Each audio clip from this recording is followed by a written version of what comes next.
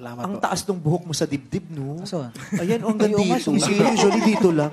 Siya dito. Okay. Kaya pala nung mahangin, gumagano. Malamig, tinatama ng aircon, no? Ah. Mabalahibo ka. Ayun, oh. Ayun, oh, pumapaypay, oh. Dito. Sa dibdib ka lang mabalahibo. Saan pa? Dito. Bindi. Sa binte. Saka sa hita po. Ito, binte.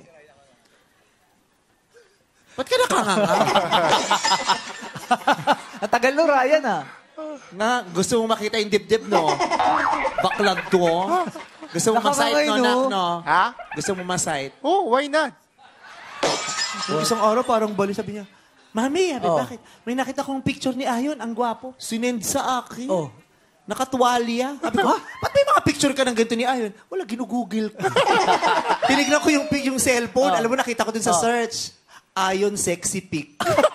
Kung sinesearch mo yung mga sexy pic, Ay, gusto ko lang makita. Bakit? Bakit kailangan sexy pic ni Ayon? Ah, wala lang. Bored ako eh. ano daw? Ay, nagulat daw siya. Ah, bored. Oo. Bored, tapos sexy picture ng mga lalaki tinitingnan mo. Bored siya. Kala ko sa ininsulto ako, rinig ko, bald ako eh. Bald ako eh.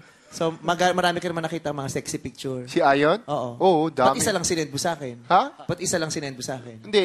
is- yung, yung, meron pa siyam. Meron pa so, siya. ikaw muna, ganun. Ayun pa, send.